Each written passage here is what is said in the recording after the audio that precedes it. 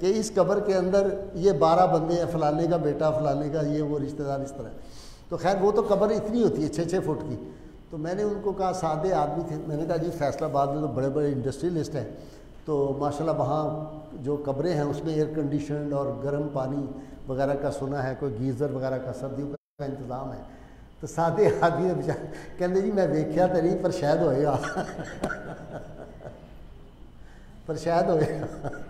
تو میں نے کہا کہ یہ بھی تو ہو سکتا ہے نا کہ جب آدمی قبر میں جائے اور منکر نکیر جب آئیں سوال و جواب کے لیے، تو یہ جو ہم نے لوٹے ہوئے ڈالر ہیں، بندہ ان کو ایک تھیلی پکڑا دے کہنے نہیں وہ نہیں پیسے لیں گے۔ میں کہا ٹرائی تو کر کے دیکھنی چاہیے۔ وہاں نہیں کام آنا۔ وہاں یہ دیکھنا ہے۔ ایسے جب چہرہ انور دکھانا ہے نا، تو امام بخاری رحمۃ اللہ علیہ نے تو یہ لکھا ہے کہ تین سوال جو ہے نا کہ من رب کا ماں دینوں کا ماں کنتا تکون و فی حق حاضر. یہ تھے جی کہ ماشاء اللہ فلانا ہمارا تعلق والا تھا۔ حضور صلی اللہ علیہ وسلم کے گستاخ تھے، ان پہ بڑا مہربان تھا۔ بچ جاؤ گے؟ یہ دو بیٹھے ہوئے، یہ ہر بات لکھتے ہیں۔ ہر فیل ہمارا ہر لفظ لکھا جا رہا ہے۔ کس غلط فہمی میں ہو؟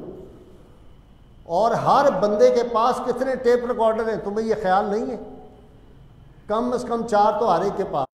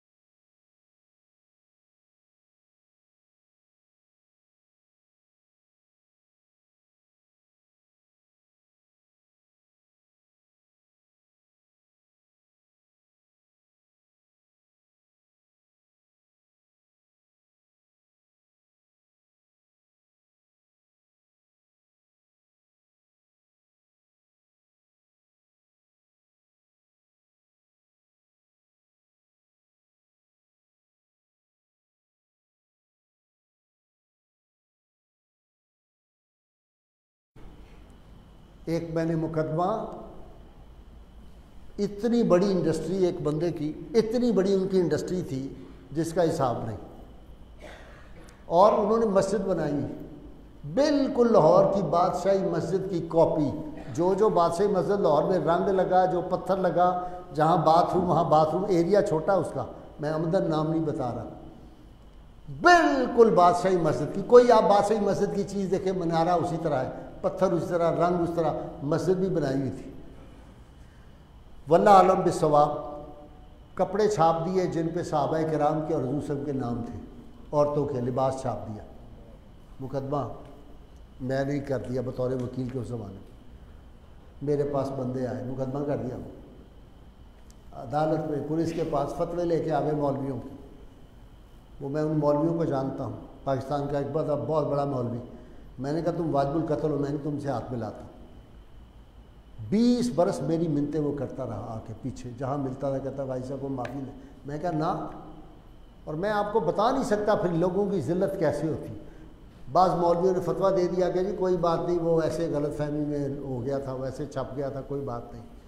میں نے کہا غلط فہمی بھی ہو گئی تھی، رب تعالیٰ نے تو فیصلہ کر دیا صحابہ کے بارے میں۔ یا یو اللہ سینا آمن لا تقول رائے نہ وقول انظرنا۔ اے ایمان والو، تم نے نہیں کہنا رائے نہ کیوں؟ منافق اور یہودی کہتے تھے رائے نہ اے ہمارے چرواہے، رائنا کا مطلب ہوتا ہے ہماری رعایت فرمائیں۔ وہ رائنا کھینچ کے کہتے تھے۔ اے ہمارے چرواہے، اب مجھے بتاؤ، آپ سب سمجھدار ہو۔ اللہ کو پتہ ہے دل کا؟ نیچتوں کا پتہ ہے اللہ کو؟ ویسے بعضوں کو غلط فہمی بھی ہے۔ لوگ رشوت لیتے ہیں، نیچے جا کے دیتا ہے کھانے سے آ جاؤ جی۔ دروازہ بند کر دو پھر نہیں پتہ چلے گا۔ چپ کر کے جیب پا دیو جی۔ ہاتھ نہ نہیں پڑیا، پتہ۔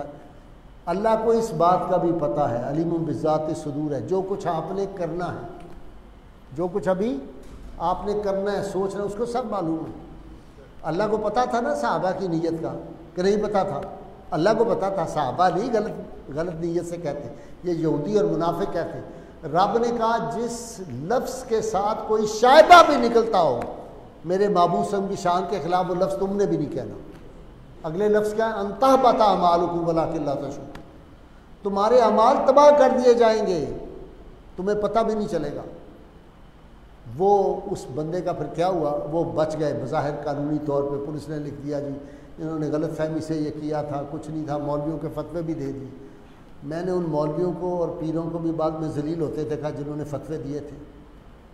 زیرو ہو گئے، زیرو ہو گئے۔ مختلف بیماریوں میں مبتلا ہو گئے اور وہ خاندان پورا برباد ہو گیا، سب مر گئے، سارے کینسر سے مر گئے۔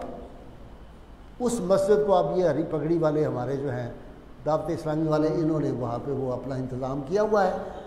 وہ ملیں بک گئیں، وہ سارے ادارے بک گئے، وہاں پہ لوگوں نے کالج، یونیورسٹیاں بنا لی، سارا ختم ہو گیا۔ جب میں وہاں پہ گیا تھا، ایک مائی ان کے گھر کی بوڑھی باقی تھی۔ جس کو نوکر منہ میں کھانا ڈالتے تھے، سارا خاندان ختم ہو گیا۔ یہ ہے رسول اللہ صلی اللہ علیہ وسلم کی جو گستاخی ہوتی ہے، اس کی یہ انجام ہوتا ہے۔ اب سب نے تو نہیں بظاہر کیا ہوگا نا۔ یہ غلط کہنا کہ جی میرے تو منہ سے وہ جی بول پن میں ہو گیا تھا۔ بول پن نہیں، جب میں نے بتا دیا ہے اور میں تو ڈرنے والا بندہ نہیں ہوں، اللہ کے فضل و غم سے۔ تو میرے دوست بڑے گھبرائے ہوئے تھے، انہوں نے کہا جی وہ فلانے نے تھریٹ کر دیا۔ میں کہا بیوقوف ہو، یہ نو محرم کی رات کو مجھے تم اطلاع دے رہے دس محرم کو سارا خان وعدہ مصطفیٰ صلی اللہ علیہ وسلم۔ ایسے ایسے جن کا ایک بال جو ہے، اس کے بدلے کروڑوں مسلمان اپنی جانیں دے دیں۔ تو شہید ہو گئے۔ کس لیے؟ اقتدار کے لیے؟ دین مصطفیٰ صلی اللہ علیہ وسلم کے لیے۔ یزید اپنا رشتہ کس سے جوڑتا تھا؟ جب امام علی مقام کو شہید کر دیا اور ان کا سر انور یزید کے سامنے گیا تو اس بدبخت نے کیا کہا جس کے بارے میں وہ بد نصیب مولوی؟ مجھے ان کے ایمان اور اسلام کے بارے میں شک ہے۔ میں بڑی جرت سے یہ کہہ رہا ہوں۔ جو یزید کو رضی اللہ تعالیٰ عنہ کہتے ہیں۔ یزید کو سرٹیفکیٹ دیتے ہیں۔ یزید علیہ السلام کہتے ہیں۔ اس کے لیے ہمدردی رکھتے ہیں۔ وہ اسی طرح کے لوگ ہیں جس طرح کہ آج گستاخان رسول سے ہمدردی رکھتے ہیں۔ میں نے اللہ کے فضل و کرم سے کسی کی آخری رسومات میں شرکت نہیں کی۔ کسی سے کبھی اچھا اچھے لفظوں میں نام بھی نہیں ان کا لیا۔ میں نے آخری رسومات کا لفظ کہا ہے آپ کو یاد ہوگا۔ اس لیے ہمیں جو کچھ ملا وہ دربار مصطفیٰ صلی اللہ علیہ وسلم سے ملا۔ ہمیں دنیا والوں سے کیا لینا جی؟ اور ذرا دوستی لگا کے تو دیکھو، وہاں اپنی غلامی کی نسبت تو قائم کرو۔ اللہ کہہ رہا ہے کہ میں ٹیسٹ لوں گا تمہارا خوف سے۔ میں تمہارا ٹیسٹ لوں گا بھوک سے آزماؤں گا۔ کہیں روٹی کی خاطر تو نہیں تو اپنا دین بیچ دیتے۔ وہ صاحب الدیانوی نے ایک نظم لکھی، اس کا عنوان ہے طوائف، جس کو کنجری آپ کہتے ہیں۔ اس کے بعد وہ کہتا ہے، تو نے عصمت کو بیچ ڈالا ہے چند فاقوں کو ٹالنے کے لیے۔ لوگ یزدہ کو بیچ دیتے ہیں اپنا مطلب نکالنے کے لیے۔ جنرل مشرف کو میں نے خود اپنے کانوں سے سنا، دیکھا، مولوی تقریر کر رہے ہیں۔ مفتی تقریر کر رہے ہیں بعض اور کہہ رہے ہیں جی یہ صلاح الدین ایوبی ہے وقت کا۔ انا للہ و انا لہ وہ شراب پی کے آیا ہوا ہے، اس کے منہ سے بو آ رہی ہے۔ اس بد کردار کو، اور وہ کہہ رہے ہیں جی تو صلاح الدین ایوبی تھا۔ وہ گیا، جو اگلے آئے، ان کے ساتھ ہو گئے۔ جناب، وہ تو بڑا بےمان آدمی تھا، آپ بڑے صلاح الدین ایوبی۔ اس طرح کے لوگ جو اپنا ایمان بیچتے رب کہتا ہے، میں تمہارا ٹیسٹ لیتا ہوں۔ خوف سے، بھوک سے، اور مالوں سے۔ تمہارے مال کا بھی ٹیسٹ کرتے ہیں۔ اللہ کی راہ میں خرچ کرتے ہو کہ نہیں کرتے؟ وہ ہمارا ایک دوست ہے، بہت امیر آدمی۔ تو وہ کہتا ہوتا ہے کہ جناب، اللہ نے اس کو توفیق دی ہے، وہ خرچ وہ زکوٰۃ اپنی جمع تفریق کر کے پوری دے کے تو پھر صدقہ اس کے علاوہ کرتا ہے۔ تو ہنس کے کہتا ہوتا ہے، کہتا ہے، لکھاں تک تے کم ٹھیک رہتا ہے۔ جدو کروڑا چ زکات پہنچ دی ہے نا گائی صاحب، ایک بار کلیجے ہاتھ پہنتا ہے۔ لیکن کہتا ہے، اللہ ہی توفیق دیتا ہے۔ تو پھر وہ اپنے دوستوں کی مثالیں دیتا ہے کہ جو زکوٰۃ نہیں دیتے لوگ، مالوں کی آزمائش ہوتی، مال اکٹھا کرتے مال اکٹھا کر۔ میں نے تو ایک دفعہ پاکستان کے ایک سابق وزیر اعظم سے کہا، اس کے گھر ہم گئے ہوئے تھے، کچھ وہ ہائی ٹی وغیرہ تھی تو وہ کچھ کھانا وانا کھایا وہاں پہ بیٹھ۔ تو میں کہا تھی یہیں کھانے ہو بس؟ میرا تو خیال تھا، آپ کو من مچھی کھاتے ہوں گے، کوئی دو من وہ کھاتے ہوں گے، مرغے وغیرہ، یہ وہ تو آپ نے بھی ہماری طرح دو تین بوٹیاں کھا کے بس کر میں نہیں جی کتنے کھاتا جاتا ہے میں کہ اس کے لیے اتنے عذاب جیلے ہوئے کتنا کھانا ہوتا ہے آدمی؟ ایک پلیٹ سے زیادہ تو کھایا نہیں جاتا۔ ہماری عمر میں تو ایک پلیٹ بھی نہیں کھائی جاتی۔ یہ ہمارے ایم پی اے صاحب بیٹھے ہوئے ہیں۔ یہ جب ان کی نوجوانی تھی تو کھانے میں بڑے مشہور تھے۔ اب یہ جان چھڑاتے ہیں، بوٹیاں میں پکڑ کے ان کی پلیٹ میں ڈاکٹر شاید ڈالتا تو بھاگ دے ہاتھ جوڑے نہیں، سرکار۔ بس کر دو۔ نہیں کھائی جاتی۔ کتنا کھانا ہے تم نے؟ اور حلال کھاؤ گے تو وہ صحت بنے گی۔ حرام کا ایک لقمہ امام غزالی فرماتے ہیں، جب آدمی کے اندر جاتا ہے، تیس ہزار تبدیلیاں پیدا کر دیتا ہے جا کے پھر تم شکایتیں کرتے ہو، او جی اولاد بڑی نافرمان ہو گئی ہے۔ وہ جی فلانے بچے نافرمان ہو گئے ہیں جی۔ نوکر نافرمان، وہ کیوں نہ نافرمان ہو؟ رزق حرام کھاتے ہو تو ہماری زبان کی تاثیر جاتی رہے۔ اللہ سے تعلق نبی کریم صلی اللہ علیہ وسلم نے اشاعت فرمایا، حدیث ہے کہ ایک آدمی آتا ہے، اللہ کی بارگاہ میں دعا مانگتا ہوا، بال بکھرے ہوئے ہیں، عبادت گزار ریاضت گزار، فرمایا دعا مانگ رہا ہے، دعا اس کی کہیں نہیں پہنچتی، کیوں؟ لکمہ اندر اس کے حرام کا ہے، تو اس کی دعا، نماز نفل کیا کریں گے؟ اس کو ہم نے فارغ ہی کر دیا۔ ہم نے کہا ملاوٹ والا جی ملاوٹ والی چیزیں بناؤ۔ جعلی چیزیں بناؤ، مرچوں میں چیز ڈالو، نمک میں ڈالو، گندم میں ڈالو، دودھ، ملاوٹ شدہ، ہر شہ دو، اس کے بعد کوئی مسئلہ ہی کوئی نہیں، حج کر لو تو بس ٹھیک۔ کل دادا صاحب گورستہ تو ویڈیو چل رہی تھی، تو وہاں کچھ نام میں دیکھ رہا تھا، جنہوں نے اپنی بہنوں کے حصے مارے ہوئے، بھائیوں کے حصے مارے ہوئے، دھوکے باز فراڈیے لوگوں کی جائیدادیں بیچ کے داتا صاحب کے وہ ہو رہا ہے، وہ جو غسل مبارک اس میں سب آگے کو بیٹھے، پھر ایسے کر رہے ہیں۔ داتا صاحب کی طرف دھیان نہیں۔ میں تو پانچ سال پہلے گیا تھا، توبہ کر کے واپس آ گیا۔ جو جو میں نے وہاں پہ چہرے دیکھے اور جو اندر بھاگ بھاگ کے جا رہے تھے فلانا میں کہا یہ داتا صاحب کی طرف نہیں جا رہے، یہ تو وزیر اعلیٰ کی طرف جا رہے ہیں۔ اور ہر ایک کی خواہش ہے کہ وزیر اعلیٰ دیکھ لیں ایسے آگے ہو، ایسے ایسے کر رہے ہیں۔ وہ یوں کر کے بیٹھا ہو ذرا نگاہ اٹھاتا ہے تو آگے ہاتھ ہلا رہے۔ ہیں میں کہا اگر داتا گنج بخش بھی مزار پاک سے باہر آ جائیں گے پھر بھی وزیر اعلیٰ کی طرف دیکھیں۔ ان کو کیا فیض ملے گا؟ داتا صاحب جو کہہ رہے ہیں ان کی بات ہم مان نہیں رہے۔ وہاں تو ہم جا رہے ہیں پی آر کے لیے۔ وہ ٹیلی ویژن پہ ہی میری فوٹو آ جائے گی۔ تو میں آج پانچ گھنٹے میں نے ٹی وی پہ رہنا ہے۔ تو مجھے بتاؤ میرا قد بڑھ جائے گا۔ کیا حاصل ہو جائے گا؟ وہ بھی مجبوری کے لیے اس لیے جاتے ہیں کہ دین کی بات پہنچتی ہے۔ لوگوں کے اللہ تعالیٰ ان کے دل بدلتا ہے لوگوں کو۔ ان کو محبت رسول صلی اللہ علیہ وسلم، محبت اہل بیت کی بات پہنچتی ہے۔ اس لیے جاتے ہیں۔ تو بندہ وہاں جا کے کیا ہو جاتا ہے؟ لوگ مر رہے ہوتے ہیں منتیں کر رہے ہوں گے۔ اور جناب ذرا ہماری، ہمیں دکھا دیجیے گا وہاں۔ مہربانی کیجیے گا۔ ذرا ٹی وی والے کو پچھلے دنوں میں گیا ہوا تھا کانفرنس میں میں نام نہیں لیتا۔ تو میرے کانف میں آ کے بڑے بڑے کہہ رہے ہیں ذرا ٹی وی والے کو کہنا جناب کیمرہ ساڑھے سے مار دیں جناب، میرے ذرا کیمرہ نکلنا مار دو۔ میں کہ کیا دیتے کیا دیتے نہ گھبرایا اس کے کیمرے میں اپنی فوٹو بناؤ۔ گبد خطرہ کے مکین کے کیمرے میں اپنی فوٹو لگاؤ۔ یہ کام آئے گی۔ وہ جو حافظ ہمارا بابر پڑتا ہے نا، میں کہوں غلام ہوں آپ کا، وہ کہے کہ ہم کو قبول ہے۔ جب وہ آئیں، فرشتے پوچھنے لگے کہ بتاؤ ان کے بارے میں کیا خیال ہے، تو وہ فرمائیں نہ پوچھو اس سے، یہ میرا ہے۔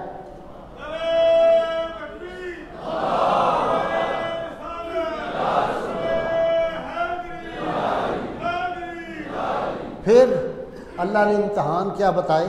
خوف سے آزمائیں گے، بھوک سے آزمائیں گے، مالوں سے آزمائیں گے۔ کاروبار ذرا مٹھا پڑا تو انہیں کہ رب نے ساڑھے گھر دیکھ لے۔ ہمارا جو ہاتھ ڈالتے جی کاروبار میں نقصان ہی نقصان ہے۔ شکر کا لفظ ہی ہمارے اندر نہیں رہا۔ اپنے سے نیچے والے کو دیکھو۔ شیخ سادی کہتے ہیں، میں مسجد سے نماز پڑھ کے نکلا تو میری جوتا چوری ہو گیا۔ یہ بات مجھے یاد آئی تو میں نے ڈاکٹر شاہد کو چھوڑ دی مغیث نے مجھے پتہ نہیں چار جوتے بھجوا دیے، پانچ بات وہ میں پہلے دن جو جب جمعہ پڑھانے آیا، دوسرا جمعہ تو باہر نکلا تو چپل چوری ہو گئی۔ اب اس کے بعد میں بڑی عام سی، سستی سی چپل لے کے آتا ہوں۔ وہ مغیث مجھے مل کے پوچھتا کہ نہیں وہ دوسری نہیں تھی پائی؟ میں کہا نہیں ایک باری سبق ملی ہے۔ کوئی میں کہا میں تو ڈاکٹر شاہد تے مقدمہ کرا دینا سی مذاق کرتے رہے ہم، دل لگی۔ تو شیخ صاحب باہر نکلے تھے بڑے پریشان ہوئے، کہنے چنگا ہے، میں جمعے کی نماز پڑھنے آیا تھا میری جتی غائب۔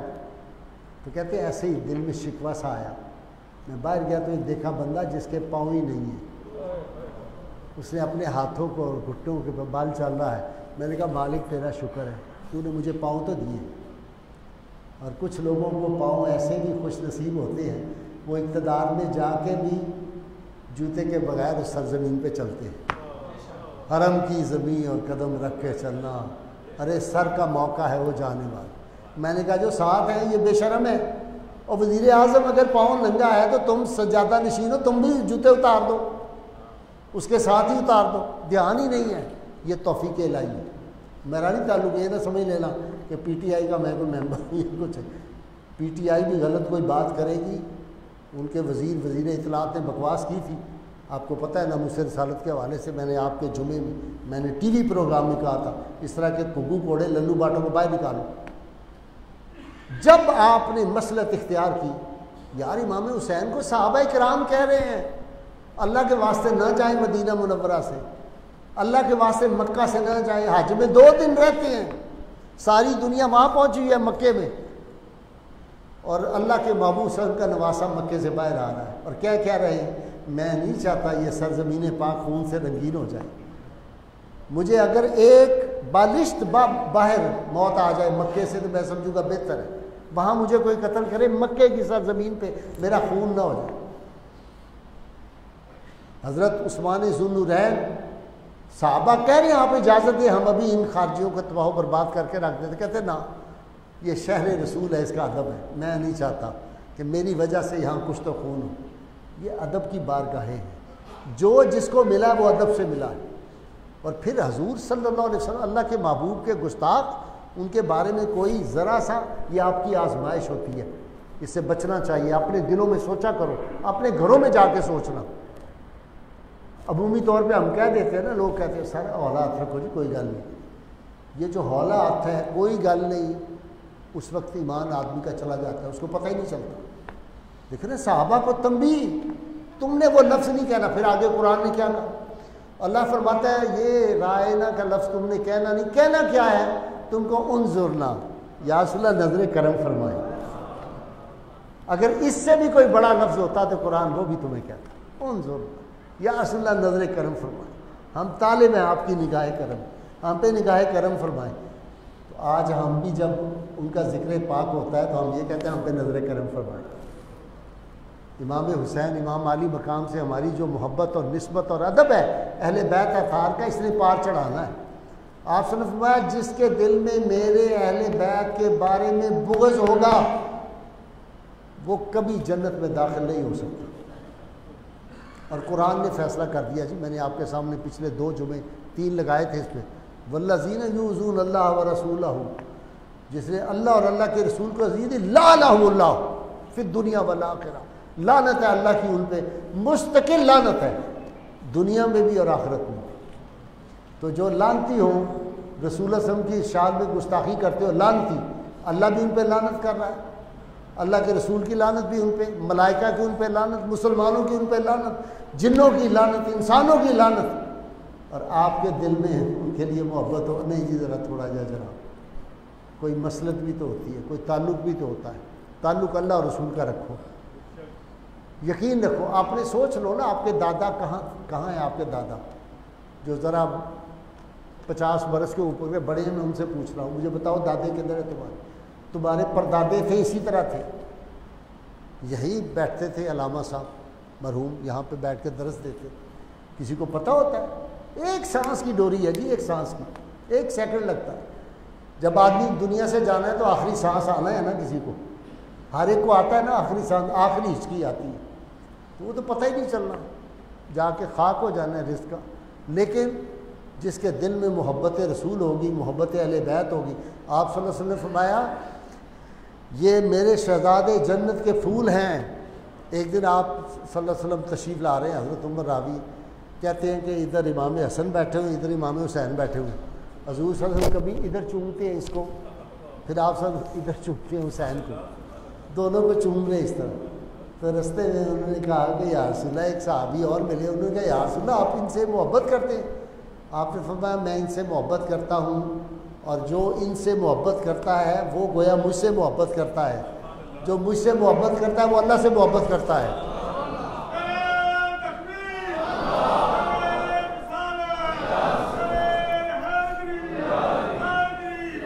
اور ایک حدیث پاک میں جو حسن و حسین کو اذیت دے، ان کو تکلیف دے، ان کے لیے بغض رکھے، گویا وہ مجھ سے بغض رکھتا ہے، مجھے ناراض کرتا ہے۔ اور جو مجھے ناراض کرتا ہے، وہ اللہ کو ناراض کرتا ہے۔ اور سوچ لیں جس سے اللہ ناراض ہو گیا، وہ بچ کیسے سکتا ہے۔ اللہ کا قہر اس شخص پہ ہوتا ہے جو اہل بیت اطار کے بارے میں کوئی ذرا سا دل میں بغض رکھے۔ حضور صلی اللہ علیہ وسلم کو کتنا پیار تھا۔ ایسی ایسی باتیں آدمی پڑھ کے حیران ہو جاتے پکڑ لیتے تھے، ان کو سونگتے تھے۔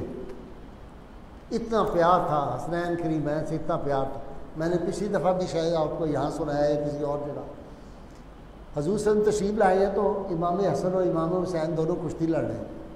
بچے تھے دونوں، کشتی لڑ رہے آپ صلی اللہ علیہ وسلم نے آ کے دیکھا تو آپ نے کہا، حسن، اے لتوں پھڑ، لت لت نہیں کھچ اے بازو اس طرح کر۔ جیسے ہم کہتے ہیں نا، پہلوان کہتے ہیں، ٹپی با داؤ سکھانے لگ گئے۔ سیدہ فاطمہ نے کہا یا رسول اللہ حسین چھوٹا ہے، حسن بڑا ہے، آپ حسن کو داؤ سکھا رہے ہیں۔ آپ نے فرمایا جبریل امین حسین کو جو دائیں سکھا رہا ہے۔ یہ بیلنس کیا ہم۔ جبریل جن کو آ کے داؤ سکھا رہے ہیں اور جن کا جھولا جھلا رہے ہیں، جن کو کھلا رہے ہیں، ان کو کربلا میں جس طرح ان کی گردن پہ خنجر چلایا جا رہا ہے۔ عمر بن سعد ظالم نے پتہ کیا کہا؟ دس اس نے شاہ سوار اپنے بلائے جو بڑے طاقتور تھے۔ امام علی مقام کا سر انور کاٹ دیا۔ جب کاٹ دیا آپ کا سر انور تو اس نے دس شاہ سوار بلائے کہہ لیے تم گھوڑوں کے بڑے ماہر ہو، حسین کے لاش کے اوپر گھوڑے دوڑاؤ اور اتنا دوڑاؤ کہ اس کی لاش جو ہے یہ زمین کے ساتھ چپک جائے۔ اور یہ کس کے کہنے پہ ہو رہا ہے؟ یزید کے۔ اور آج کا مولوی اٹھتا ہے، کہتا ہے، یزید رضی اللہ تعالیٰ عنہ، یزید علیہ السلام، یزید کے دن کی چھٹی ہونی چاہیے۔ جو یزید کے دن کی چھٹی کی بات کرے گا، اس کی اس دین سے چھٹی ہو گئی، اسلام سے چھٹی ہو گئی۔ پتہ چل جائے گا۔ اور جو یہ بات کہتے ہیں، میں دعوے کے ساتھ کوسیہ مسجد والوں تمہیں کہہ رہا ہوں۔ ان کے چہرے دیکھو، اگر نہ ان کے چہرے بگڑے مرنے سے پہلے، میرا نام نذیر غازی نہ رکھنا۔ حضور صلی اللہ علیہ وسلم کو آج میری یہ حالت تھی، میں آپ کو بیان نہیں کر سکتا۔ میں دو راتوں سے سویا نہیں۔ میں پروگرام کرنے سے میرے پاس سینکڑوں کتابیں پڑھی ہوئی تھی ایک کتاب اٹھاتا تھا، اس کو پڑھتا تھا، میری عجیب حالت ہو جاتی تھی۔ میں دوسری کو پڑھتا تھا۔ مجھے خیال آتا تھا۔ میں نے وہ حدیث پڑھی ہوئی ہے۔ حضرت ام فضل حضور سن کی چچی جان سید عباس کی زوجہ فرماتی ہیں کہ میں رسول وسلم خدمت میں گئی، میں نے کہا یا رسول اللہ، رات میں نے خواب دیکھا، میں بڑی ڈری ہوئی مجھے بڑا خوف تاری۔ تو رسول اللہ نے فرمایا، بتاؤ چچی جان، میں فضل بتاؤ کیا؟ کہا، یا رسول اللہ، میں نے دیکھا آپ کے جسم کا ایک ٹکڑا کٹ کے اور میری جھولی میں آ گیا ہے۔ آپ نے فرمایا، یہ تو بڑی اچھی تعبیر ہے۔ اللہ میری بیٹی فاطمہ کو ایک بیٹا دے گا اور وہ تمہاری گود میں ڈالا جائے گا۔ فرماتی ہے پھر حسین پیدا ہوا۔ اور یاد جن کے نام اللہ نے ازل میں محفوظ کر لیے، کتنی صدیاں گزر گئی جناب آدم سے لے کر اور سیدہ فاطمہ سلام اللہ علیہ کے جس دن بطن سے پیدا ہوئے دونوں فرزان کسی کا نام تاریخ میں حسن اور حسین نہیں ہے۔ کسی کا نام حسن اور حسین نہیں۔ حالانکہ کوئی بہت خاص نہیں تھے، ایسے نہیں تھے کہ عرب کے لوگوں کو نہ اس طرح کا نام آئے۔ اللہ نے محفوظ کر لیے، کسی نے نام نہیں رکھا۔ یہ نام اللہ کے محبوب سم کے نواسوں کے نام تھے۔ اللہ نے اسمان سے اتارے ہیں یہ نام۔ جن کے نام آسمان سے آئیں جن کا جھولا ملائکہ اور جبریل امین جو لائیں ان کے بارے میں یار، تم کہو نہیں جی ہمیں تو کوئی کوئی غم نہیں غم نہیں ہونا چاہیے۔ یہ پتھر پتھر پہ یہ باتیں لکھے نا۔ پھر فرماتی ہوں میں فضل کے میں ایک دن گئی تو میں دیکھا نبی کریم صلی اللہ علیہ وسلم کی گود میں جناب حسین علیہ السلام۔ تو میں نے دیکھا حضور رو رہے میں نے پوچھا، یا رسول اللہ، آپ رو رہے ہیں؟ کیا ہوا؟ تو میں جبریل امین آئے تھے ابھی۔ انہوں نے مجھے خبر دی ہے کہ میری امت کے کچھ بدبخت میں اس نواسے کو شہید کریں گے۔ اور صرف یہی نہیں، مجھے لا کے وہاں کی مٹی بھی دکھا دی گئی۔ اسی طرح کی حدیث حضرت ام سلمہ، ام المومنین، سیدہ سلمہ صلی اللہ علیہ سے بھی بروی ہے۔ فرماتی مجھے نبی کریم صلی اللہ علیہ وسلم نے شہزادے کو گود میں لیا ہوا تھا، جبریل امین آئے۔ آپ آپ دیدہ ہو گئے، میں کہا، یا رسول اللہ، کیا ہوا؟ فرمایا، ابھی جبریل امین آئے تو انہوں نے خبر دی ہے کہ حسین کو میری امت کے بدبخت شہید کر دیں گے۔ اور وہاں کی مٹی لا کے دی اور آپ نے ام سلمہ کو کہا، یہ مٹی سنبھال لو۔ ام سلمہ، جس دن یہ مٹی، میرا حسین شہید ہوگا یہ مٹی خون میں تبدیل ہو جائے۔ میں نے اس میں کہا کہ مٹی تبدیل نہیں ہوئی۔ زمین بھی رو رہی تھی۔ زمین خون ہو گئی تھی اس دن، اس کی آنکھوں سے خون نکل رہا تھا۔ زمین کی آنکھوں سے۔ پھر ام سلمہ کہتی ہے کہ اس دن ہوا۔ امام علی مقام جس دن شہید ہوئے، میں نے دیکھا وہ جو شیشی تھی، وہ خون میں بدل گئی تھی۔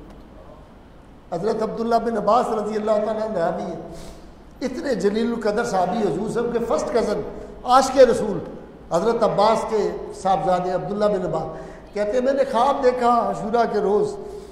نبی کریم صلی اللہ علیہ وسلم تشریف لائے ہیں۔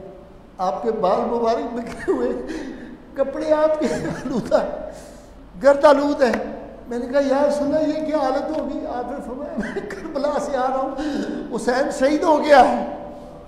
اور یہ یہ شیشی، میں اس میں خون اس کا اکٹھا کرتا رہا ہوں۔ حسین حضور آزودہ گمبد خطرہ کے مکین رو رہے ہوں۔ جن کے لیے جن کا دکھ حضور سے نہ دیکھا جائے، رحمت اللہ عالمین سے۔ اور تم آج کا مولوی اٹھ کے کہیں گے، نہیں، ان کے لیے آپ کی آنکھیں نم نہیں ہونی چاہیے۔ اپنا بیٹا بھائی مر جاتا ہے، کیا حالت ہوتی ہے تمہاری؟ کوئی عزیز مر جاتا ہے، کیا حالت ہوتی ہے تمہاری؟ اس بے دردی کے ساتھ سارا خاندان مصطفیٰ صلی اللہ علیہ وسلم شہید کر دیا گیا۔ اور تم ابھی کہتے ہو کہ جی یہ اس طرح کی بات نہیں ہونی چاہیے۔ حضور صلی اللہ علیہ وسلم، آج کا دن وہ ہے گمبد خطرہ کے مکین جو ہے وہ پریشان سیدہ فاطمہ کو دیکھا خواب میں کہ آپ پریشان ہیں۔ کہا کہ سیدہ، کیا ہوا؟ آپ کیوں پریشان ہیں؟ کہا، میں کربلا سے آئی ہوں۔ میرا حسین وہاں پہ شہید ہو گیا۔ کس طرح کے ظلم انہوں نے کیے؟ تمہیں اندازہ نہیں؟ حضرت بابا فرید گنج شکر رحمۃ اللہ علیہ کے بارے میں خواجہ نظام فرماتی کہتے، میں آیا تو عشورہ کا دن تھا، دس محرم الرام بابا صاحب بیٹھے ہوئے تھے اور مرید بیٹھے تھے، بابا صاحب بیان کر رہے تھے۔ تو کہنے لگے کہ امام علی مقام اس طرح گئے، اس طرح ان کو شہید کیا اور ان کا سر انور اس طرح خولی نے کاٹا اور شمر جوشن نے ان کی باتیں سنا رہے تھے۔ اور کہنے لگے کہ رسول اللہ کے نواسے کو نہیں بخشا، اتنا کہا پہ ہوشوں کے گر گئے۔ غش آ گیا۔ یہ ہے، معین الدین چشتی اجمیری کسی سے بات ہی نہیں کرتے تھے، آج کے دن جو تھے۔ ان کی یہ کیفیت ہوتی تھی۔ جن کی نگاہیں تھیں، جنہوں نے یہ ظلم کو محسوس، ان کے درد کو محسوس کرتے تھے۔ حضور صلی اللہ علیہ وسلم کو اپنے ان نواسوں سے کتنا پیار تھا۔ خطبہ دے رہے ہیں آپ صلی اللہ علیہ وسلم اور دیکھتے ہیں اسلین کی مین آئے تو لڑ کر آ رہے ہیں، گر نہ جائیں۔ خطبہ چھوڑ کر اتر کے جا کے ان کو اٹھا لیا۔ نماز کی حالت میں ایک صحابی بیان کرتے ہیں کہ یا رسول اللہ، آج ہم تو پریشان ہو گیا آپ نے سجدہ بڑا لمبا کر دیا۔ تو ہم نے کہا کہ نعوذ باللہ پتہ نہیں آپ صلی اللہ علیہ وسلم کا کہیں مثال پاک ہو گیا۔ حضور صلی اللہ علیہ وسلم آج کیا ہوا؟ اتنا لمبا سجدہ ہو گیا۔ فرمایا، تمہیں نہیں پتا میں جب سجدے میں تھا سلیم کی مین میرے اوپر سوار تھا سینہ مصطفیٰ صلی اللہ علیہ وسلم۔ حضور صلی اللہ علیہ وسلم ان کو چوما کرتے، اس سینے کو جس کو چوما کرتے۔ میں نے آپ کو بتایا تھا کہ جناب ابو رحرا رضی اللہ تعالیٰ عنہ جب بیمار ہو گئے، ان کے آخری ایام تھے، تو مروان حاکم مدینہ ان کی خبر لینے کے لیے جاتا ہے بدبخت۔ جا کہتا ہے، ابو رحرا رضی اللہ تعالیٰ عنہ، آپ حضور کے صحابی ہیں، ہمیں آپ سے بڑی عقیدت ہے، ہمیں آپ سے بڑی محبت ہے۔ انہوں نے کہا اچھا بتاؤ، کہ محبت تو آپ سے بڑی ہے، لیکن ایک بات کا مجھے آپ سے گلا ہے۔ کہا کہ لگا، آپ یہ حسنین فری مین سے بڑا پیار کرتے ہیں۔ حسن حسین کا آپ بڑا خیال کرتے ہیں۔ یہ آپ جو کرتے تھے، یہ مجھے پسند نہیں۔ کہنے لگے، میں کیوں نہ کروں، میں تمہیں بتاؤں، میں رسول اللہ وسلم کے ساتھ تھا سفر میں۔ سیدہ پاک بھی ساتھ تھی، یہ دونوں ننے شہزادے بھی ساتھ تھے۔ تو اس خیمے سے راستے میں جب رکے، خیمے میں تو رونے کی آواز آئی۔ آپ صلی اللہ علیہ وسلم تشریف لے گئے، آپ نے کہا، سیدہ، اور میں آپ کو یار کیا بتاؤں لوگوں؟ آپ صلی اللہ علیہ وسلم میں ایک دن گزر رہے، اندر سے رونے کی آواز آئی۔ آپ تشریف لے گئے اور آپ نے کہا، فاطمہ، کیا بات ہے یہ؟ حسین رو رہا ہے، کیا بات ہے؟ کہا جی کسی بات پہ رو رہے تھے۔ کہا اس کو رونے نہ دیا کرو۔ مجھ سے حسین کا رونا نہیں دیکھا جاتا۔ میں برداشت نہیں کر سکتا۔ اس حسین پاک کو علیہ السلام کو کربلا میں ان کے ٹکڑے جسم کے کر دیے گئے۔ گھوڑے ان پہ دوڑائے جا رہے ہیں۔ تو حضرت ابو ریرا کہتے ہیں کہ رسول اللہ صلی اللہ علیہ وسلم نے کہا اچھا آپ نے قافلے والوں سے کہا، سب سے بھائی دیکھو، پانی جس کے پاس ہے، لاؤ۔ ان کا، یا رسول اللہ، بس سفر میں سارا پانی ختم ہو گیا ہے۔ اب بس مدینہ پہنچنے والے تو پانی کسی کے پاس میں نہیں تھا۔ تو آپ نے کہا کہ فاطمہ، مجھے حسن کو پکڑاؤ۔ جناب حسن کو دیا۔ آپ نے اپنی زبان پاک ان کے منہ میں ڈال دی۔ اور حضرت ابو رانا کہتے ہیں، انہوں نے چوسنی شروع کر دی زبان پاک۔ اس کے بعد آپ نے ان کو واپس کر دیا، وہ چپ کر گئے، سیر ہو گئے۔ پھر آپ نے کہا، حسین کو دے دو۔ حسین کو پکڑا، اپنی زبان اطر ان کے منہ میں ڈال دی۔ انہوں نے وہ زبان چوسی کہتے ہیں؟ اس کے بعد وہ بھی مطمئن ہو گئے۔ جس زبان پاک مصطفیٰ کریم صلی اللہ علیہ وسلم کی زبان پاک، اور جس کو آپ صلی اللہ علیہ وسلم کہیں یہ مجھ سے ہے حسین، میں حسین سے ہوں۔ جن کو رسول اللہ اپنے بدن اطر کے ٹکڑا کہے، اپنے جگر کا ٹکڑا کہے، یارو وہ شہید ہو گئے کربلا میں۔ اور ہمیں احساس نہ ہو اس بات کا۔ وہ کس لیے گئے تھے؟ وہ حکومت کے لیے گئے تھے۔ جو بندہ جنگ کے لیے جاتا ہے، وہ اپنے ننے بچوں کو ساتھ لے کے جاتا ہے۔ ذرا نہیں لے کے گئے۔ وہ کوئی فوج کو نہیں لے کے گئے وہاں پہ۔ حق کی بات کر لیں۔ یزید سے کیا جھگڑا تھا؟ یزید اتنا ہی کہتا تھا، میری یہ بیعت کر لیں تو سارے لوگ میرے خادم میرے غلام ہو جائیں۔ ایسا بدبخت آدمی تھا۔ آپ کو پتہ ہے کہ عمر بن صاحب نے جب آپ حضرت امام پاک کا گردن جو تھی وہ انہوں نے کاٹ لی، تو اس نے کہا، یہ بڑا ہمارا مارکا ہے، جس طرح یہاں کا مشیر وزیر اعظم کا کہتا تھا نا، ہمارا بڑا کریڈٹ ہے جی کہ ہم نے گستاخان رسول کو جو تھا، بڑا پرامن با حفاظت پروٹیکشن میں باہر فرار کرا دیا۔ تو وہ بھی اپنا کریڈٹ لینے کے لیے عمر بن سعد کہتا ہے کہ اس کو ابن زیاد گورنر کے پاس لے جائیں سر سر حسین کو خولی کو بلایا، اس کو کہا، یہ سر لے جاؤ اور جا کے ان کو دکھاؤ، تو ہمارا کریڈٹ ہے کہ ہم نے بہت بڑا مارکا کیا۔ وہ پھر آگے یزید کو یہ سر بھیج دے گا۔ خولی لے کے گیا تو آگے گورنر اس کے دروازے بند تھے، رات کافی ہو گئی تھی۔ وہ لے آیا، لا کے اپنے گھر رکھا، اوپر ٹب رکھ دیا۔ اس کی بیوی کہنے لگی، یہ کیا ہے؟ کہنے لگا، نیک بختے، بڑی خوشی کی بات ہے۔ تمہیں پتہ ہے، ہم بڑے خوش بخت ہیں، بہت بڑا میں مارکا کر کے آیا ہوں۔ اس نے کہا، کیا؟ خولی کی بیوی کو؟ وہ کہہ رہا ہے کہتا میں حسین کا سر لے کے آیا ہوں، گیا تھا گورنر اس گورنر، اس کے دروازے بند ہیں۔ اب صبح جائیں گے، ابن زیاد گورنر کو پیش کریں گے، سر، وہ بڑا انعام و اکرام دے گا، ہمارا کریڈٹ ہے، کریڈٹ لیتے ہیں۔ اس نے کہا، بد بخت خبیص لوگ تو سونے چاندی کما کے لاتے ہیں، تم یہ لانت اپنے کھاتے میں ڈال لی کہ تم نے رسول صلی اللہ علیہ وسلم کا نواسے کو شہید کر دیا۔ تم جہنمی ہو۔ آج کے بعد میرا تم سے کوئی تعلق نہیں۔ میں تمہارے بستر کی زینت نہیں بن سکتی۔ قربان جاؤں اس کے عشق میں۔ یہ ہے غیر مشہور محبت اور لامحدود وفاداری۔ اس کے گھر سے گئی خولی کی بیوی پھر واپس نہیں آئی۔ یہ ہے۔ ابن زیاد کی ماں کو پتہ چلا۔ اس نے اپنے بیٹے کو کہا وہ لانتی کاش میں تمہیں نہ جنتی۔ یہ تم نے کام کیا ہے۔ نواسا رسول کو تم نے شہید کر دیا تو نبی کریم صلی اللہ علیہ وسلم کو اپنے ان شہزادوں سے کتنا پیار تھا۔ اور صحابہ کرام سے پوچھے جن کو یہ پتہ تھا، ان کی کیا عزت اور تقریم تھی؟ عمر بن عبدالعزیز کو امام حسن کا پوتا ملنے کے لیے چلا گیا۔ اتنی بڑی حکومت عمر بن عبدالعزیز کی۔ جب وہ آئے تو انہوں نے دیکھا کہ مصروف ہیں، تو وہ واپس جانے لگے تو بندے نے اندر جا کے بتایا۔ اس نے کہا جی وہ امام حسن کے پوتے دوڑتے ہوئے باہر آئے، ان کو آ کے پکڑ لیا۔ کہ لیں یہ کیوں آپ واپس جا رہے ہیں؟ اس نے کہا جی میں نے دیکھا کہ آپ مصروف ہیں۔ انہوں نے کہا نہ نہ نہ، توبہ توبہ توبہ۔ تم رسول اللہ کی اولاد ہو تمہارے لیے چوبیس گھنٹے دروازے کھلے کوئی پروٹوکول نہیں تمہارے لیے۔ بس اتنا کرنا، ان کی خدمت کی، ان کو گفٹ دیے، ان کی بات سنی۔ کہا، جب چاہو آ جایا کرو ملنے کے لیے۔ تمہاری زیارت بھی مالی ثواب ہے۔ بس اتنا کرنا، جب روز قیامت ہو اور آپ کے نانا جان مقام محمود پہ بیٹھے ہوں، تو ان سے کہنا، عمر بن عبدالعزیز بھی ہمارے غلاموں میں سے ہے یاد نہیں آپ کو؟ سید عمر بن خطاب رضی اللہ تعالیٰ عنہ۔ لوگ باتیں کرتے ہیں۔ صحابہ نے جو محبت کی ہے اہل بیت اطار سے، ہم تو اس کا کوئی تصور اشر اشیر نہیں کر سکتے۔ ہم تھوڑے سے چاول پکا کے بیچ دیے، وہ بانٹ دیے اور سمجھا کہ بڑی تو ہم نے توپ چلا دی۔ لیکن یہ بھی محبت کا اظہار کرنا چاہیے۔ آج کے دن ان کے لیے جو کچھ آپ خیرات، صدقہ، جو کچھ کر سکتے ہیں، یہ ضرور کیا کریں۔ اس کے بڑے اجر ہیں، اس کا اجر آخری میں پتہ چلے گا جا کے۔ کیا تھا؟ سیدنا عمر رضی اللہ تعالیٰ عنہ کے بیٹے نے شکایت کی، عبداللہ بن عمر نے۔ اس نے کہا جی ہم کھیل رہے تھے تو مجھے حسین نے کہا کہ تم ہمارے غلام ہو۔ حضرت عمر نے کہا، ادھر ادھر بات۔ دوبارہ کہنا، کیا کہا؟ کہا جی وہ حسین پاک نے مجھے کہا کہ تم ہمارے غلام کہ لے، چل میرا پتر اے انہوں کو لکھوا کے لائے حسین علیہ السلام خود خلیفہ وقت آیا۔ حضرت علی گھر پہ موجود ہے آ کے سلام تو آئی کا کیسے خلیفہ المسلمین تشریف لائے؟ انہوں نے کہا، آج غلطی ہو گئی، یہ عبداللہ بن عمر کا کوئی بچے تھے، آپس میں کھیلتے ہوئے کوئی ان کا تنازع ہو گیا ہے۔ تو حسین علیہ السلام نے کہا ہے کہ تم ہمارے غلام ہو۔ تو عمر آپ کے دروازے پہ آیا، یہ لکھ کے دے دے کہ ہم آپ کے غلام ہیں۔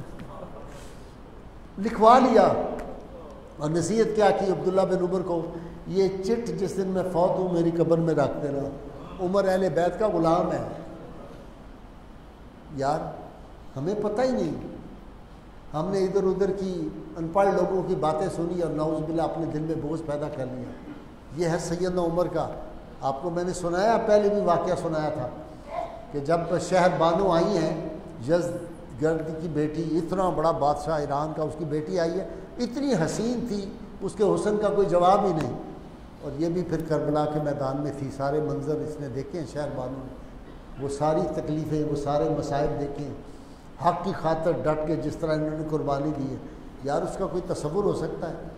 میری تو حالت عجیب ہو جاتی ہے۔ مجھے نہیں سمجھ آتی۔ لوگ دس دس گھنٹے واقعات بیان کرتے ہیں اور بالکل بڑے تس سے مس نہیں ہو رہے ہوتے اور بیان کرتے میں کہا، کیسے کر لیتے ہو؟ امام حسین علیہ السلام گئے ہیں، پیاس نے بہت تنگ کیا ہوا تھا۔ آپ نے سوچا اچھا عباس بھی شہید ہو گیا، اب کوئی بچہ نہیں تو میں کروں کیا؟ تو امام علی مقام نے گھوڑے کو اپنے کو دوڑایا اور آپ پہنچ گئے فرات کے کنارے۔ وہاں دیکھا تو چار ہزار یزیدی جو تھے وہاں ڈپیوٹ تھے کہ یہاں سے پانی نہ لیں۔ چار ہزار کے باوجود خان بادہ مصطفیٰ صاحب اس کی جرت کو سلام، جس کے سر پہ امامہ رسول اللہ علیہ وسلم کا تھا، جس کے ہاتھ میں ذوالفار حیدری تھی۔ جب گئے، ایک نعرہ لگایا سارے ڈر کے بھاگے، بکریوں کی طرح۔ آپ پانی کے اندر پہنچ گئے۔ پانی لینے لگے تھے کہ پیچھے سے خیموں سے آواز آتی ہے، بڑی۔ آپ شور مچا، آپ واپس آئے اسی طرح تیزی سے گھوڑے پہ۔ جب واپس آ کے دیکھا تو یہ شمر، ذلجوشن اور دوگر جو تھے، انہوں نے لوٹ مار شروع کر دی ہوئی تھی، خیموں پہ حملہ کر دیا تھا۔ آپ نے آ کے للکارا تو پھر ڈر گئے، نکل آئے خیموں سے، باہر نکل آئے۔ تو آپ امام پاک جی دوبارہ جانے لگے نا، تو سیدہ سکینہ آپ کی بیٹی، ننی بیٹی، پانچ چھ سال کی، اس نے پکڑ لیا، ایسے کر۔ دل کو آپ کو پتہ ہے، آپ کا کسی عزیز کا کوئی اس طرح کا معاملہ ہو، تو اللہ تعالیٰ کا ایک نظام ہے پتہ چل جاتا ہے۔ میں آپ کو کیا بتاؤں؟ کہ میرے والد گرامی کا جب انتقال ہوا، دو ہزار چار کی بات ہے، تو میں ہائی کورٹ میں بیٹھا ہوا تھا اور سپریم کورٹ کا فنکشن ہو رہا تھا اور میں اسٹیج پہ بیٹھا ہوا تھا۔ میں خانہ خدا کے اندر آپ کو عرض کر رہا ہوں، بیٹھے ہوئے مجھے لگا مجھے کسی نے سوا مارا ہے یہاں سے میری کمر میں اور وہ آر پار ہو گیا۔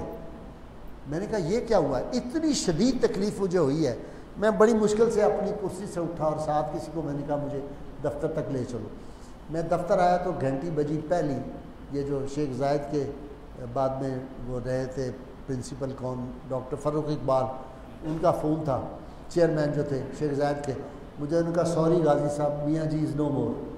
میاں جی دنیا سے رخصت ہو گئے یہ تعلق ہوتا ہے اس سے پوچھو جس کا جوان بیٹا فوت ہو گیا تھا۔ آدمی کو ایک میسج آ جاتا ہے، پتہ چل جاتا ہے کہ یہ اس طرح کی بات ہوئی۔ تو میں بات کیا کر رہا تھا؟ آپ کو کیا واقعہ میں بیان کر رہا تھا؟ ہاں سیدہ سکین۔ تو دل ان کا بیٹھ رہا تھا۔ اس سے پہلے انہوں نے دیکھا تھا کہ علی اکبر بھائی چلا گیا، علی اصغر شہید ہو گیا تھا، جناب قاسم شہید ہو چکے تھے۔ انہوں نے دیکھ لیا ہوا تھا۔ یہ سارے جناب تو کہا کہ بابا جانا آپ کدھر جا رہے ہو؟ تو بار بار ننی بچی کپڑا پکڑ رہی ہے آپ نے کہ آپ نے کہا بیٹا تسلی دینے کے لیے۔ چلیے بیٹا، میں پانی لینے جا رہا ہوں۔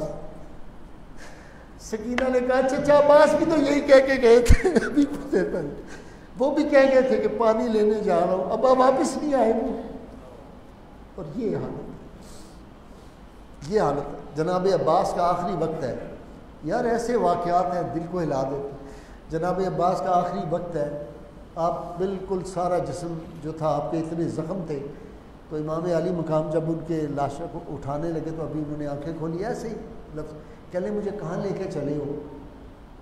بھائی جان، مجھے کہاں لے کے چلے؟ اور آپ کو پتہ ہے سید عباس نے پوری زندگی میں صرف ایک دفعہ بھائی جان کہا ہے، ورنہ میرے آقا کہتے تھے۔ امام حسین نے ایک دفعہ کہا باس آپ مجھے بھائی جان نہیں کہتے، آپ میرے آقا کہتے۔ کہا کہ میں فاطمہ کلابیہ کا بیٹا ہوں۔ تم فاطمہ بنت محمد کے بیٹے ہو۔ میری ماں، آپ کی ماں کی غلام تو ہو سکتی ہے، غلام زادی تو ہو سکتی ہے۔ میں آپ کا مقابلہ کیسے کر سکتا؟ لیکن جب آخری وقت آیا، آخری سانس آئے تو کہا، بھائی جان، مجھے کہاں لے کے جا رہے ہیں تو امام حسین نے کہا، میں اٹھا کے آپ کو خیمے کے اندر لے کے جا رہا ہوں۔ کہتے مجھے وہاں لے کے جانا۔ کہلے کیوں؟ کہتے سکیلا کو میں وعدہ کر کے آیا تھا، میں پانی لے کے آ جاؤں گا۔ میرے پاس پانی نہیں۔ اس طرح بے گور و کفن اس پیاس سے رسول اللہ صاحب کا سارا خانوادہ جو تھا وہ دنیا سے رخصت ہو گیا۔ اور آج مجھے بہت دکھ ہوتا ہے۔ میڈیا پہ اتنی اب وہ قوتیں، طاقت پکڑ رہی ہیں۔ وہ میڈیا پہ بیٹھ کے کہتی ہیں کہ جی یزید رضی اللہ تعالیٰ عنہ، اس کی معصومیت، اس کے وکیل بنتے ہیں یزید کے۔ امام اور ان کے فالوور، میں نے آج بھی صبح پروگرام میں کہا ہے امام محمد بن حبل یزید کے کفر کے قائل ہیں۔ وہ کہتے ہیں وہ کافر تھا، وہ مسلمان ہی نہیں تھا۔ کیوں؟ جو اللہ اور اللہ کے رسول صلی اللہ علیہ وسلم کو تکلیف دے، جو حضور وسلم کا یار گستاخ ہو، تو ذرا سوچو نا۔ تو وہ دار اسلام میں رہ سکتا ہے۔ نبی کریم صلی اللہ علیہ وسلم کا آج بڑا اٹھ کے کہتے ہیں، وہ جناب، وہ جو ختم نبوت کے منکرین ہیں، ان کے بارے میں غائی صاحب نہیں کہنا چاہیے۔ مجھے نوٹس دیتے تھے۔ وہ دفعہ ہو گیا چیئرمین جو، یہ مہدی حسن جو ہے خبیص یہ پھرتا ہے، پروفیسر مہدی حسن، جس کو آج کل پھر ہیومن رائٹس کا چیئرمین بنایا ہوا ہے۔ وہ کہتے ہیں جی ان کے بارے میں نہ کہیں، جو ختم نبوت کے مخالف ہیں۔ میں نے کہا، کمال کی بات۔ جو رسول اللہ وسلم کی شان میں گستاخی کرے، اس کے لیے دو سو پچانوے سی سزائے موت ہے اس کی۔ اور جن کی کتابیں بھری ہوں ناؤز باللہ نبی کریم صلی اللہ علیہ وسلم کی گستاخی کے ساتھ، ان کو پروٹیکٹ کرو جی ان کو پروٹیکٹ کرنا چاہیے جی۔ ان کو پروٹیکٹ کرتے ہو۔ جو یہ کہے کہ ناؤز باللہ بن ذالک نبی کریم صلی اللہ علیہ وسلم، پہلی رات کے چاند ہے، میں چودھویں رات کا چاند ہوں۔ میں اہل تشریحوں سے میں نے کہا وہ محبت اہل بیت کا دعویٰ کرتے ہو، امام حسین سے محبت کا دعویٰ، اللہ تمہیں توفیق دے۔ لیکن تمہیں یہ نہیں پتا، جب تم قادیانیوں کے بارے میں اپنے دل میں نرم گوشہ ان کو پروٹیکٹ کرتے ہو، میں نے ان کے بڑے ایک آدمی سے کہا، تمہیں نہیں پتا؟ اس نے کہا، سو حسین، وہ تو میرے گریبان میں پھر رہے ہیں، سو حسین۔ اور مردہ حسین کو مانتے ہو، میں زندہ حسین کو مانو نعوذ باللہ من ظالم ایسی ایسی اس نے بکواس کی ہوئی ہے۔ اور تم اس کو مان تم اس کو پروٹیکشن کی بات کرتے ہو۔ اس ملک میں یہ ملک نبی کریم صلی اللہ علیہ وسلم کے نام نامی، اس میں گرامی پہ اللہ کی عطا ہے۔ پاکستان ایک راز ہے خدائی رازوں میں سے۔ جو لوگ آج اس کے ڈیم کی مخالفت کر رہے ہیں، آپ دیکھنا ان کا اثر کیا ہوتا ہے۔ یہ پاکستان اس کو بنجر کرنے کا، وزیر اعظم کہتا ہے انڈیا کا کہ ہم ان کو ترسا دیں گے، دو ہزار پچیس میں یہ پانی کی بوند بوند کو ترسیں گے۔ اور یہ اس یزید یزید سے بھی بدتر کا ساتھ دے رہے ہیں۔ یہ کہتے ہیں، نہیں ڈیم نہیں بننے دیں گے۔ مہم چل رہی ہے، مجھے سندھ سے فون آئی کہ جی یہاں پہ مہم چل رہی ہے کہ جی ڈیم نہیں بننے دیں گے آپ۔ یہ ڈائنوں کی اولاد ہے جو ڈیم کی مخالفت کر رہے ہیں۔ ان کو شرم نہیں آتی، پاکستان کو سر سبز نہیں دیکھنا چاہتے۔ انشاءاللہ پاکستان قائم رہے گا۔ یہ قائم رہنے کے لیے بنا ہے۔ اور دوستوں، میں آپ سے پھر دوبارہ گزارش کروں، میری ساری زندگی اس محاذ، اس جنگ، اس جہاد پہ لڑتے ہوئے گزری۔ مجھے میرے رب نے بڑی عنایات کی۔ میں آپ کو گنوانا شروع کروں تو شاید چار جمعے اس پہ میرے لگ جائیں جو نبی کریم صلی اللہ علیہ وسلم کی ناموس کے لیے کھڑا ہوتا ہے، جو حضور صلی کی ختم نبوت کے لیے کھڑا ہوتا ہے، اللہ اس پہ اپنی رحمتوں کے دروازے کھول دیتا ہے۔ یہ دل میں ہمدردیاں نہ لاؤ۔ کہ فلانا سیاست دان جو ہے جی اس سے ہمارا تعلق ہے۔ فلانا سیاست دان کیا تمہیں دے دے گا؟ کوئی لائسنس دے دے گا، کوئی پیسے دے دے گا، کوئی آرام کا ہی رزق دے گا تمہیں۔ لیکن یہ اتنی سی زندگی ہے، وہ جو لمبی زندگی ہے، ہزاروں سال، پتہ نہیں لاکھوں سال کی، ادھر جا کے پھر یہ کام نہیں آنا، اس کے لیے تیاری کرو۔ اور جس کے دل میں حب اہل بیت ہوگی، اللہ کے محبوب صلی اللہ علیہ وسلم نے فرمایا وہ جنت میں جائے گا۔ امام حسین نے اپنے جتنے ہو گئے وہ بلا لینے ہیں، غلام کہ ادھر آ جاؤ؟ سیدہ فاطمہ نے بلا لینے، ادھر آ جاؤ۔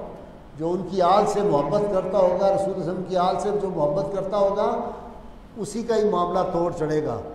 جس کے دل میں اہل بیت عطا کیوں؟ اللہ کے محبوب صلی اللہ علیہ وسلم نے فرما دیا، دو چیزیں تمہارے درمیان چھوڑ کے جا رہا ہوں۔ آخری خطبہ خطبہ حجت الوداع۔ ایک قرآن، ایک میرے اہل بیت۔ اور یہ حوض کوثر تک اکٹھے رہیں گے اور میرے پاس آئیں گے۔ تو قرآن اور اہل بیت دونوں اس طرح ہوں گے، یہ اکٹھے رہیں گے۔ تو آپ قرآن سے تو بڑی محبت کی باتیں کریں اور اہل بیت اطار سے محبت نہ کریں، اور پھر بھی آپ سمجھیں کہ آپ کی شفاعت ہو جائے گی۔ شفاعت مصطفیٰ صلی سے اسی کو ہوگی جس کے دل میں اہل بیت اطار کی محبت ہوگی۔ میری اللہ تعالیٰ سے دعا ہے، اللہ تعالیٰ آپ سب کو اہل بیت اطہار کا ادب کرنے کی توفیق عطا فرمائے۔ اللہ تعالیٰ نبی کریم صلی اللہ علیہ وسلم کے دشمنوں کے خلاف ہمیں کھڑا ہونے کی توفیق عطا فرمائے۔ اللہ ہمیں جرت عطا فرمائے۔ ہمارے رشتہ دار ہوں، عزیز ہوں، تعلق والے ہوں، سب کچھ وہ ان کی پرواہ نہیں کرنی بس۔ یہ اصل ہے کہ محمد سے کیا ہے کہ کی تو نے کی محمد سے وفا تو نے۔ کی محمد سے وفا تو نے۔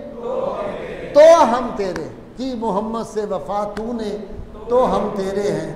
یہ جہاں چیز ہے کیا لوہ و قلم تیرے ہیں۔ آج مجھے پتہ ہے چھٹی ہے۔ پہلے سارے جاتے تھے، روز دفتروں میں جانا ہوتا تھا، تو وقت کی بڑی پابندی کرتے تھے۔ میں نے تو ابھی یہاں سے سیدھا کاموں کی پہنچنا ہے، ایک جلسے میں بھی۔ اور میں چاہتا تھا یہ ساری باتیں آپ سے ہو جائیں۔ نعرہ ہم نے نہیں بولنا۔ یہ نعرہ بھی اہل بیت اطار کی محبت کا صدقہ ہے۔ اور یہ انشاءاللہ آپ کے یہاں سے شروع ہوا۔ اب جہاں جہاں لوگ جاتے ہیں، مجھے آپ کہتے ہیں جی امریکہ میں بھی لوگ کہتے ہیں کہ جی وہ نعرہ لگائیں۔ ہانگ کانگ میں بھی کہتے ہیں جی وہی نعرہ لگائیں۔ سعودی عرب میں بھی کہتے ہیں، دنیا میں گونج رہا ہے، تیار ہو جائیے نعرے کے لیے۔ پاکستان کا مطلب کیا؟